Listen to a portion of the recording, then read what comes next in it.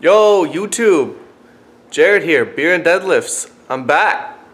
I've been gone for a while because I've been really busy with school and my old laptop that I edited videos on kind of died like a month or two ago.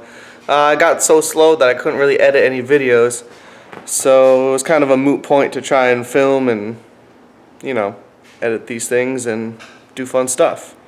Um, so I am back and I want to show you something that I got. So let's go inside my head.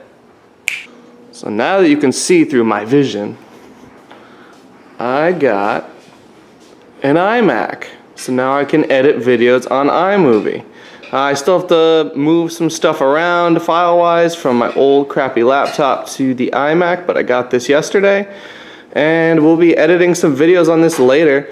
And as you can see, I have Beer and Deadlifts uploaded uh, on my on my iMac right now, so gonna be doing that. And we got Brenda making me some lasagna, so that's sweet. Time to put on my slippers. There we go. All set.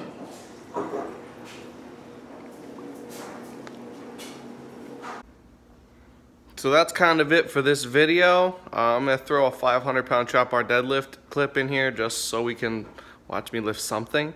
Um, but I'm trying to get more consistent with uh, my video production. I'm done with school in about a week, so I should have a little bit extra time. And I won't be studying all the time for tests and quizzes and such.